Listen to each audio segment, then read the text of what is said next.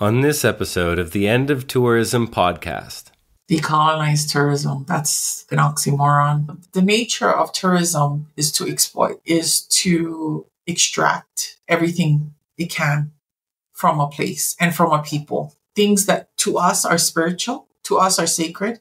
Tourism commodifies it all to decolonize something that was not created from indigenous peoples is impossible. We can hmm. decolonize our world, but we cannot decolonize systems of oppression hmm. because they're set up to oppress us. It's still tourism. It's still a business that wants to benefit from our land, from our water, from our culture, from our people. And when we talk about decolonization, when we talk about working against systems of oppression, it, it's really about us rebuilding our own systems that counter their systems. We actually have to reconnect and recreate our old systems. Welcome to the end of tourism. Conversations on wanderlust, exile, and radical hospitality. A quick reminder that the podcast lives on a gift economy model, which means that anyone, anywhere can listen regardless of their economic situation. Your gift ensures it stays that way, free of advertisements and members only paywalls. It allows me to devote a great deal of time to this project, to pay for the software and hardware that makes the podcast possible, as well as all of the production and post production labor. In order to keep the project fed, you can subscribe by making monthly, annual, or one time offerings at chrischristou.substack.com, where you'll also have access to my writing on these and other subjects, including food culture, psychedelics, media ecology, and myth. You can also support us by leaving a review for the pod on Apple or Spotify, by sharing the episodes with your friends, and by following us on social media via the handle The End of Tourism. My guest on this episode is Healani Sonoda Pale, a Kanaka Maoli human rights advocate for self determination and a water protector who has been organizing at the intersection of the indigenous struggle for liberation and environmental protection in Hawaii. She is a member of the Red Hill Community Representation Initiative and the spokesperson of the Ka Lahui Hawaii Political Action Committee. Healani was born and raised on the island of Oahu, where she resides with her family. In the first season of the podcast, I spoke to Hokulani Aikau and Vernadette Gonzalez about the attempts to decolonize tourism in the Hawaiian Islands. And following that, Kahu Kaleo Patterson, who offered a deeper historical and cultural background into the ongoing U.S. occupation of Hawaii the military industrial tourism complex, and some of the traditional forms of hospitality that Hawaiians have engaged in. Since then, and especially because of the wildfires that spread through West Maui this past summer, listeners have asked again and again to return to the islands, to host the voices of those there now struggling with another catastrophe, who are offering resilience and resistance in the face of these enduring consequences. And as such, I welcome Healani Sonoda Pale to the pod. Thank you for joining me today, Healani. It's my pleasure to uh, be joining this podcast and to help spread the message about tourism in Hawaii. Healani, could you do us the favor of elaborating a bit on where you're speaking from today and how the world looks like for you? Okay. So I'm a Kanaka Maoli woman born and raised in Hawaii on the island of Oahu. I have been in the Hawaiian movement for liberation and self-determination for nearly 30 years. I am a student of Dr. Haunani-Kay Trask, and I am on the front lines of many, many issues. The issues that we face today are Many of them are a consequence of tourism, the desecration of cultural sites, the degradation of our beautiful beaches, pollution, traffic, overcrowding, the high cost of living in Hawaii, extremely high cost of housing in Hawaii. These are all because of tourism. This is happening to Hawaii as a result, direct result of the tourist industry, which Hawaii relies on. And in Hawaii, we have two businesses. We have the military industrial complex and the tourist industry. Those are the two worst industries to rely on, number one. And they are the most exploitive and extractive industries to have. They do not enhance our way of life here on, on these islands in Hawaii. They do the opposite. They have brought many of us to the brink where we are now, most of us living paycheck to paycheck. The average cost of a house in Hawaii is a million dollars. I, I believe Honolulu is the number one or at least the top three most expensive cities in the United States to live in. So tourism is a plague in Hawaii. It mm. is a mm. plague upon this place and it, it has caused us to struggle on a daily basis not just financially and not just socially, mentally as well. Having to deal with tourists on a daily basis in Hawaii is frustrating. So that's kind of like the space I'm coming from. I am involved with the water issue, protecting our water, which is now something that is a huge issue. I, am very much involved in the Red Hill issue. I'm involved with protecting Iwi Kupuna, which is our traditional Hawaiian burials. I'm involved with um, of our again another big issue. It it never ends because the, the economic social pressure to take and take and take until there's nothing left is relentless. So that's the space we're coming from. So you talked about COVID, right? You started this podcast the beginning of COVID and COVID was an eye opener for a lot of people in Hawaii when COVID happened, the state of Hawaii shut down and tourists weren't allowed here during our shutdown. I believe it was like a year and a half. It was beautiful. Mm. Even though we were living in the middle of a pandemic, our beaches were empty. There were no line at the stores. There was no traffic. Even the air we breathed seemed cleaner. The water we swam in in the, in the ocean didn't have this sliminess on it from tourists with suntan lotion swimming in it all day, right? So the fish came back. Even the plants and the, the land was happy. I mean, it was a, a beautiful time, even though it was sad because we were living through a pandemic. It was a beautiful time for us as Kanaka because we got to see Hawaii without tourists. And that really opened the eyes for people who usually are not as critical of tourism as many of us have been. So more people in Hawaii started saying, especially Kanaka Maoli, well, how do we move forward without tourism? But when the state opened up again, tourism came back and it came back with a vengeance. When you look at what was happening on social media and you know, what people were posting across all the islands. We saw frustration. We saw people posting about interactions they were having with tourists at sacred sites and beaches. People are more aware that tourists were there after COVID because we mm. were able to enjoy our beaches, enjoy our islands without them. And then when they came back, it was not only dangerous because we, we live 2000 miles away from the, the nearest continent. So they were bringing in the COVID.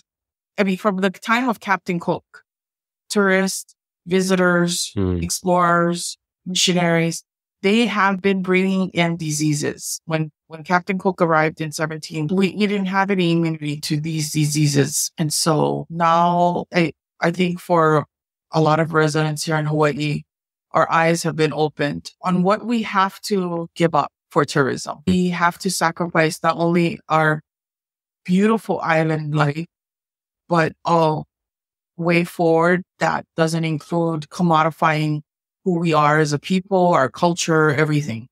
The state's been talking about diversifying the industry here in Hawaii, right? They wanted to look into agriculture was one.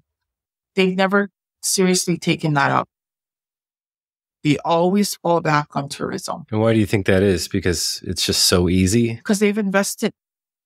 It's a multi billion mm. dollar business. There's hotels. Waikiki right. is loaded with hotels. It's business interests. It's those that have been in control of the tourist industry wanting to keep control of that and wanting to keep their financial interests protected and keep, keep going. So mm. that is, mm. that has been a problem. And of course, we have strong lobbyists here in Hawaii for the tourist industry. It is an industry that is supported by taxpayer dollars. It's one of the few industries we give millions of dollars of our money. It's a private industry supported mm-hmm. by taxpayer dollars. So it's a private industry that we support that exploits not just our resources, our culture, but they have really degraded our way of life here. They've made everything so expensive that most of our people, most of the indigenous people of Hawaii have moved away because they can't afford to live here. And, you know, I'm curious in, in this regard, to what extent do you think that this government money and government decisions played a part in these wildfires that passed through West Maui in August? You know, like uh, reading and researching for this interview and seeing what's been shared online and social media, the term management and mismanagement continues to arise in and among social movement activists. And I'm curious to what extent you think that either government action or, or, or the tourism industry had a part to play in what happened this past summer. Lahaina fires was so tragic. And the tragedy continues months after. The suicide rates are on the rise in Lahaina. Mm-hmm. Families are still displaced, thousands of them. They were just a few days ago, I had posted about it. They were just given again eviction. The last time I was in Maui was the, the first set of eviction letters that went out. So they're being housed in hotels, about seven, 8,000 of them, families that have lost everything in hotels. And now they're being told to leave to make way for tourism, to make way for tourists. That's the enormity of the pressure that tourists, tourism brings with it. The pressure to appease and to serve and to put tourism first. Going back to my childhood in school, we were basically brainwashed into thinking we need tourism. Without tourism, mm. we wouldn't have jobs. There would be no money. You know, so it's been kind of ingrained in us. And that's why I think COVID was super important because it was an eye opener for a lot of us because they saw really what was possible, a world without mm. tourism. And so the pressure t- to support, to push tourism, to, so- they always say, we want to support small businesses, but it's really not about small businesses. It's about those huge multinational corporations that have invested millions into, into this industry and have supported and lobbied for their industry, for the tourist industry. That's what it's really about to a point where they really don't care about the people, the residents of Lahaina. They're literally traumatizing these families again and pushing them around to make room for an industry that we all pay to support. And the Lahaina fires is a result of corporations, land grabbing by corporations, of tourism gone wild, literally. The whole culture of Hawaii is about making sure tourism is going to be okay in the future. We're one big resort. That's what we are. Hawaii is one big resort. Everything is catered for tourists first. It's always tourists first, residents last, and Kanaka Maoli not even considered. Like we're not even in the equation, except when they want us to dance hula and when they want us to chant and when they want us to teach tourists how to make leis. So the whole Lahaina situation is very tragic and it continues to be tragic.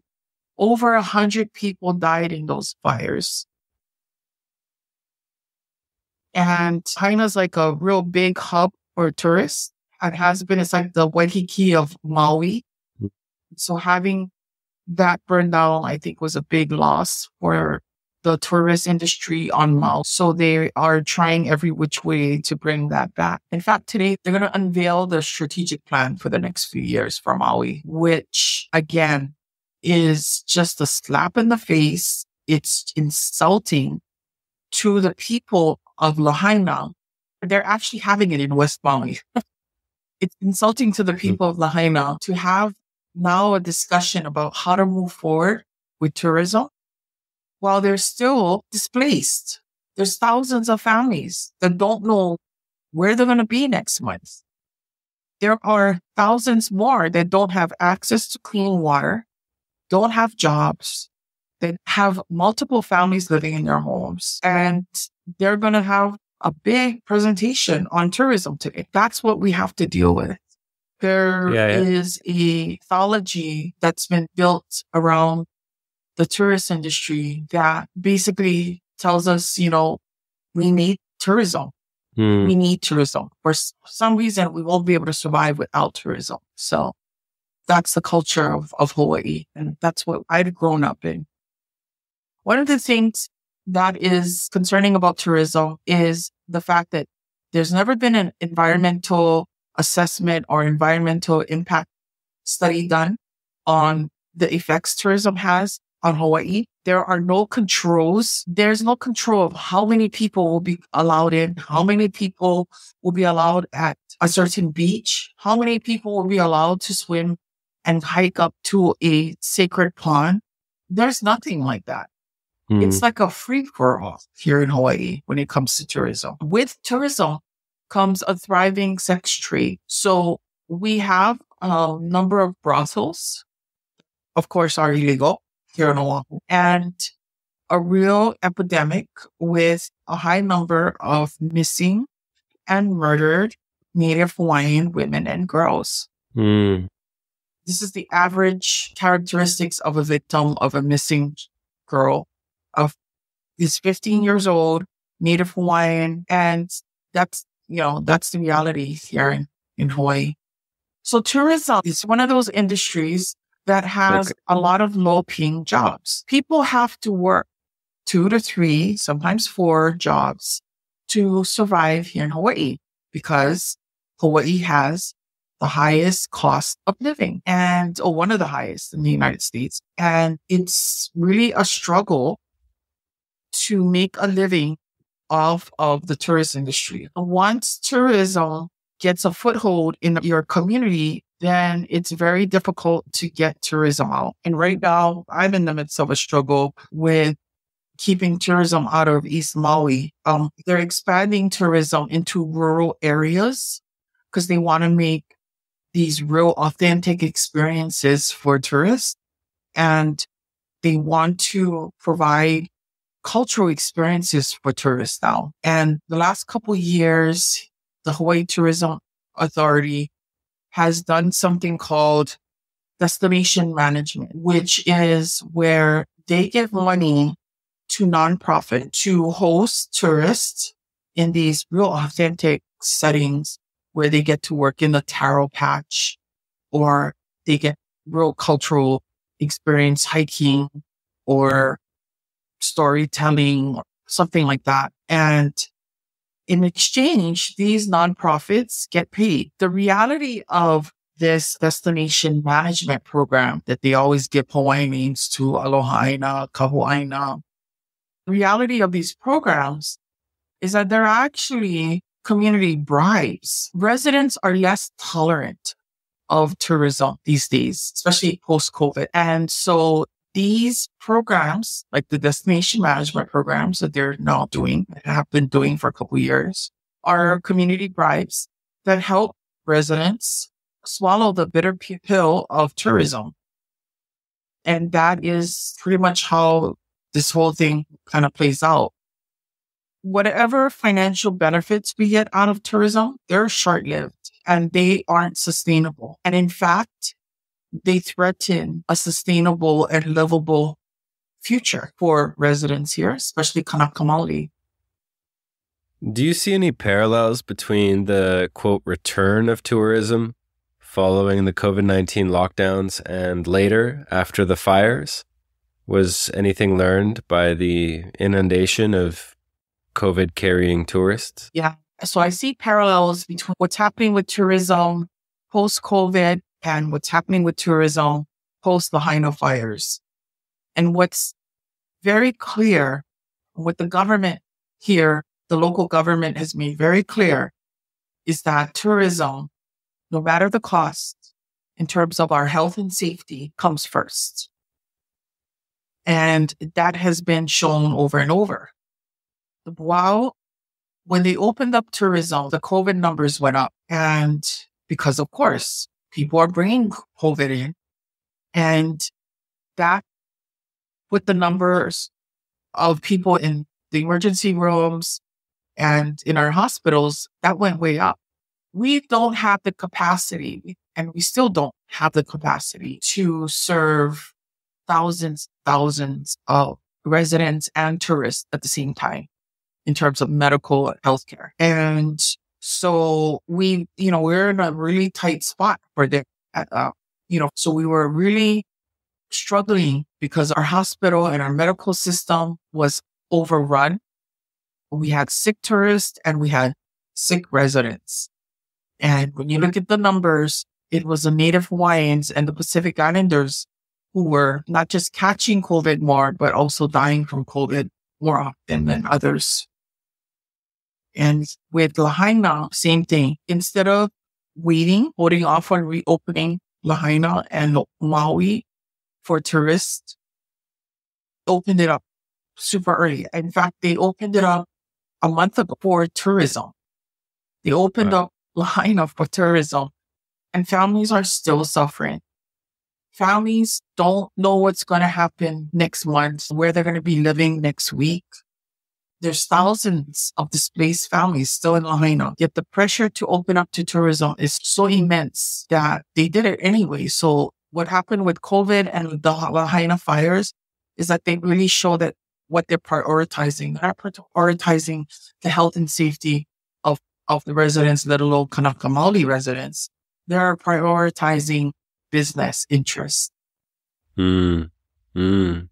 Really just showing the true face, the true nature of, of the industry, right? And, and not in any way surprising why locals, both residents and Kanaka Maoli, would be so upset and so angry, not just with the industry, but with tourists as well when they arrive having no understanding of this. Right. And so my next question kind of centers around locals there workers especially. And in this particular article, it says that as tourists return to the island, displaced residents are still in need of long term solutions for their future, most notably in terms of long term affordable housing.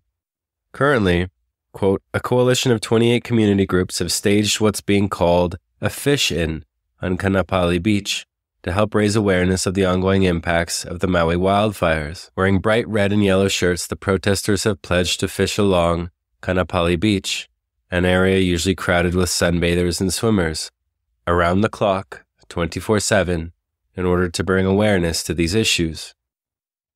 And so, in terms of strategy and solidarity, how have local people and organizations responded in the context of these last few months? Yeah, many locals work in tourism. So a lot of people in Hawaii felt that the reopening was too fast, too early. There were other ways they could have dealt with.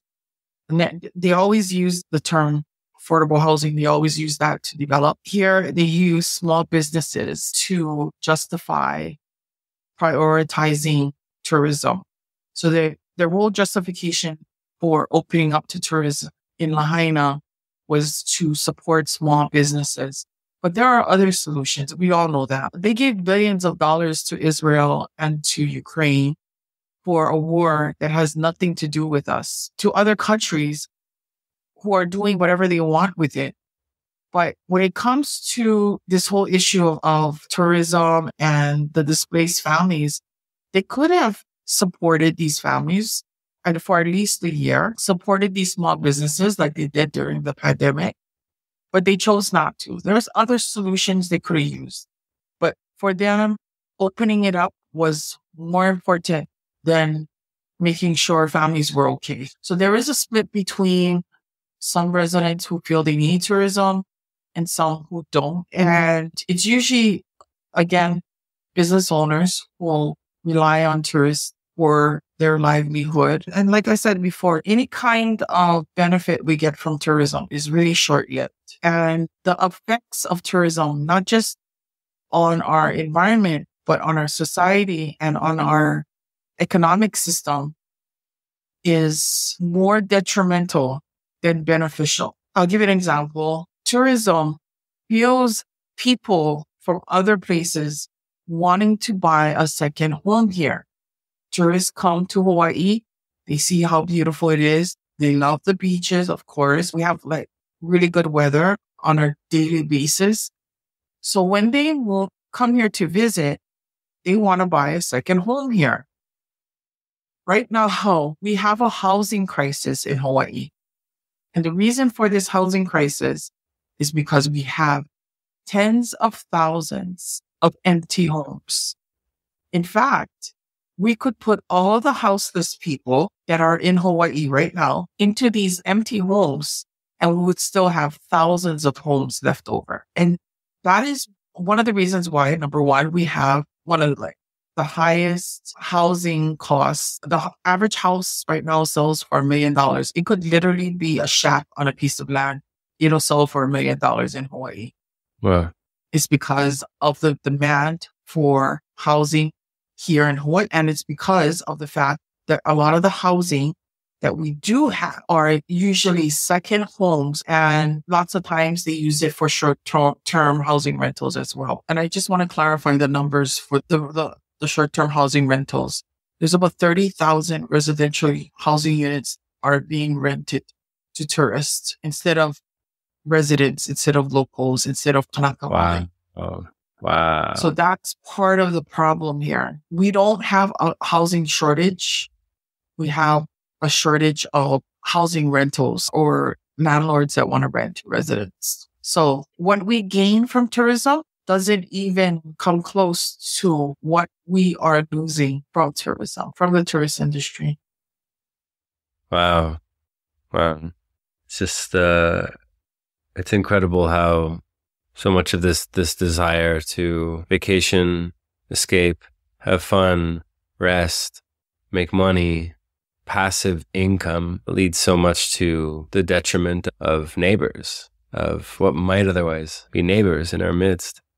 And I know that I think I read the other day that there's this group Lahaina Strong that was asking for government intervention. Is that right? Yeah. So they've asked. Uh, yeah, that's a that's a good point. Lahaina Strong, one of the lead groups in Lahaina, have asked for the mayor and the governor to intervene and to ask short-term housing rental owners to provide long-term housing solutions for those the displaced families. And that hasn't happened yet. It's been months. It's been September, October, November, over three months. And these families, their future is still up in the air. They don't even have reliable housing. So again, it just tells you what the priorities of the state is. Honestly, I don't think they're going to get what they want. Thank you, Healani, and for being a, a witness to all this and, and proceeding accordingly. I'd like to, if I can, ask you a little bit more about your political work. If I'm not mistaken, uh, you're a spokesperson for Ka Lahui Hawaii Political Action Committee. Could you explain a little bit about this organization, what the name means, how it was formed, its principles, goals, and actions, perhaps? Okay, so yes, I am the spokesperson for Ka Lahui Hawaii, and I am part of the Komike Kalai'aina or Political Action Committee, which is a national committee of Ka Lahui Hawaii, which means the Hawaiian nation. We are a native initiative for self-determination and self-governance. We were formed in 1987 by Kanaka Maoli, indigenous peoples of Hawaii, as a response to the illegal overthrow of the Hawaiian kingdom and as a way forward for our people to seek out justice and to create our own way forward by creating our own nation. I have been with Ka Lahui Hawaii since 1992. And I joined after watching Dr. Haunani-Kay Trask do her speech on the grounds of Iolani Palace, where she proclaimed that we are not American. And that was an eye opener to me. And I joined Ka Lahui and I transferred to the University of Hawaii Manoa, became her student. Mm. Uh, a lot of the work that we've done has been nation building. We are a nation in exile. Literally, we take stances on issues a lot of times. And the issues we've been doing has been from water issues to intellectual property rights to land rights to tourism. Our issues we cover is literally anything that affects us as a as a people and as a nation. So we cover a widespread of issues. Most recently, it's been the water issue that we've been really focused on. And when you look at the water issue, again, you see the disparity there. We are in a water crisis on the island of Oahu. We are encouraged to practice conservation measures. However, the tourist industry, hotels with pools and fountains and large golf courses, which have to be watered daily, are not being told the same thing. They, they are the exception. They continue to waste water while our on Oahu are concerned about the future of our children and grandchildren because we're not sure if number one, there will be clean water. And number two, if there is clean water, there'll be enough clean water for everyone in the future. But the hotels in the tourist industry, they don't care. They have swimming pools and golf courses. Tourists are not told to come here and conserve water. Mm. You know, in fact, they waste water in the tourist industry. And you can see it. Uh, you see how they waste it. It's pretty vi- visual and obvious. So Ka Lahui Hawaii has been active on the front lines with Mauna Kea issue. And we have treaties with other Native American nations. We've gone to the UN. Our past Kia Aina, or governor, Mililani Trask, helped to draft UNDRIP, which is the UN Declaration on the Rights of Indigenous Peoples, which is one of the most important documents that have come out from the UN uh, for Indigenous peoples and has reasserted all of our rights to self-determination. There's about 400 million Indigenous peoples around the world. And UNDRIP is important to every single one of us. Well, thank you for for that and the work that you do with Ka Lahui Healani. I'll make sure that the requisite websites and links are up on the homework section on the End of Tourism podcast for our listeners. Now, in my interview with Hokulani Aikau and Vernadette Gonzalez, they spoke of various projects within the tourism sector undertaken by Indigenous Hawaiians to uncover and share with tourists or visitors the histories of the people in place so often ignored by the industry. Now, in order to do this, to educate, many people work within the confines of the structures and the systems we already have. That is, to decolonize tourism, for example. Now, if we weren't limited by those current structures and systems, how would you personally want to proceed hosting the other, the foreigner? How would you want them to proceed towards you and your people? How might you imagine such a relationship to unfold? Yeah.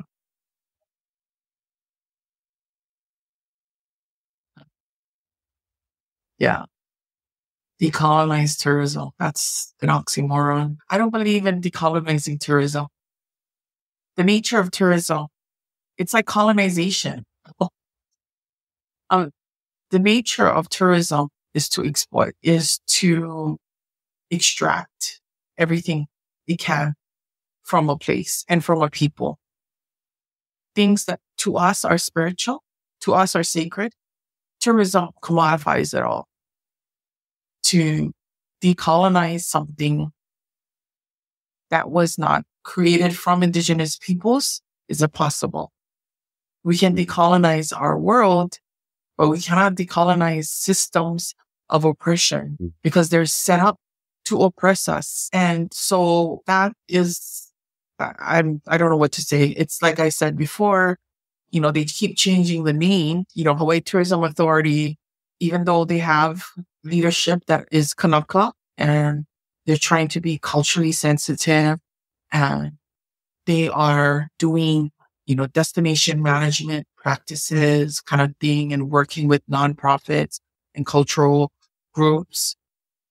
It's still tourism. It's still a business that wants to benefit from our land, from our water, from our culture, from our people. And when we talk about decolonization, when we talk about working against systems of oppression, it, it's really about us rebuilding our own systems that counter their systems. So it's all systemic, right? It's like a system of power that benefits one group over the other. It stems from colonization, which is a system of power that is working against us.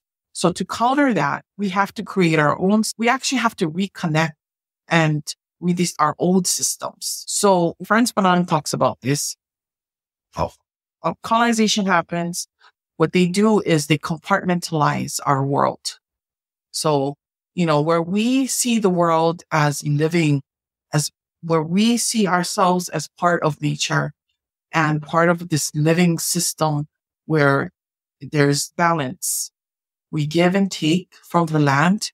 We take care of the land. The land takes care of us. In, in our cosmogonic genealogy as, as Kanaka, it, it tells us basically our universal perspective on all life, which is basically we are related to all the animals and plants and to the islands itself.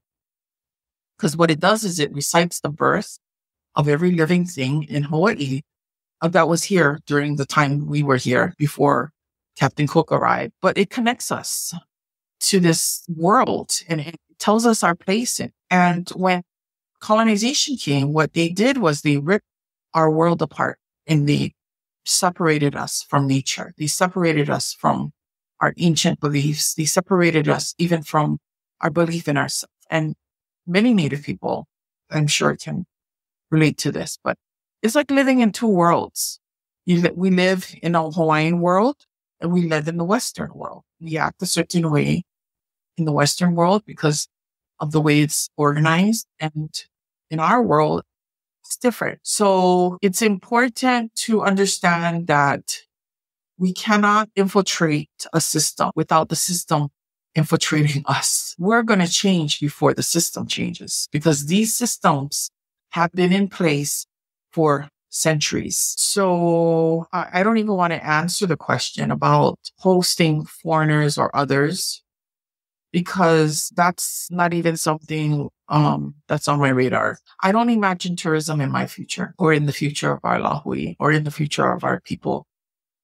Ka Lahui Hawaii has taken stances against tourists and tourism. It's not worth what we have to give up to, to host foreigners. And I could go on for hours with stories of our people putting themselves at risk, saving tourists in the ocean and not even getting a word of thanks, having tourists pee on our secret site, having tourists throw rubbish on our beaches. It never ends. So I think it's cute that they want to decolonize tourism. It's a multi-billion dollar business.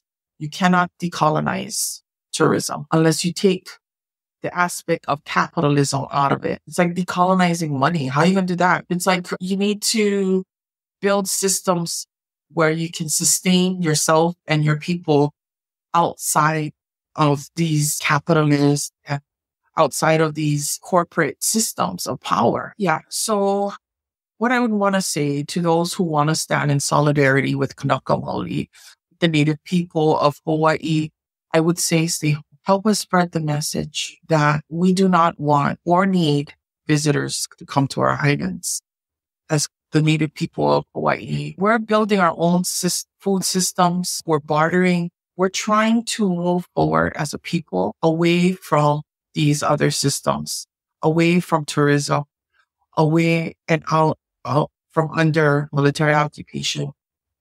It's a struggle that we're in. I think for those that are listening, it's important for you to s- spread the word about the struggle that Native Hawaiians are going through in our own homeland and our struggle for liberation and to support us in whatever way you can. So I think it's important to support us from afar, I would say. And if you're here anyway, like if you end up coming anyway, then don't just come here, get back, help out a, a Hawaiian organization, help out a Hawaiian on the street. 40% of all houseless in Hawaii are indigenous Hawaiian, and we only make up 20% of the population in our own homeland. 50% of the population in Hawaii's prisons and jails are, we have low educational attainment. We die from diseases that other people usually don't die from. We have probably the highest suicide rates in Hawaii, high infant mortality rate. So this isn't our paradise, but we have to make it a paradise for tourists. And that's something we can't continue to do.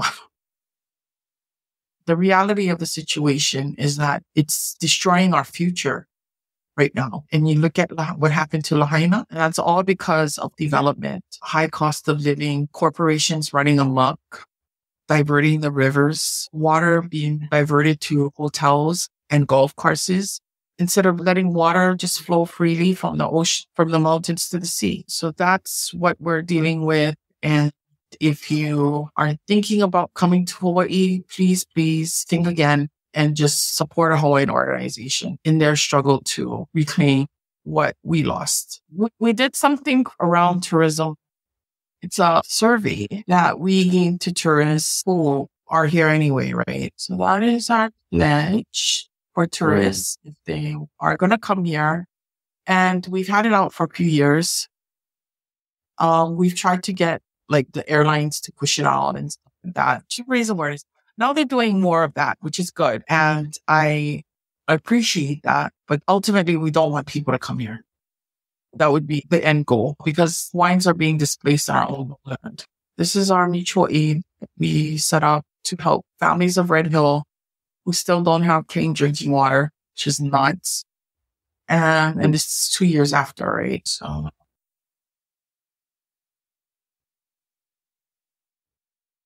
So if they want to help with that, that we appreciate. That. I'll make sure that our listeners have all of those available to them when the episode launches. So okay, basically providing services to the residents, but yeah, it's pretty much it. Hmm. I can't believe people think they can decolonize tourism. It's freaking nuts. Yeah, I, I, keep coming back to this notion that, you know, part of colonization of our minds, the wars against us tend to stem from a war against the imagination and the, a war against us being able to imagine other worlds and, and just things completely differently. And I also think that when people don't have it, examples to follow of what that might be like to, to imagine things differently and then also to not have the time to do that, you know, people tend to fall back on kind of simple alternatives, I guess. I think it could be useful for a little while, but it's like we gotta work towards not sustaining it, but dismantling it. So getting rid of it. I mean, look at what everything that's happened to Hawaii. COVID, Lahaina fires, our wildfires are like happening more and more. We have more on this island now than we've had before it's just a matter of time before we have our own huge fire that's going to be devastating on this island. I uh, I'm very grateful for for your time, and I can tell very clearly that you're one of those people that's offering an example for younger people and and how things might be different.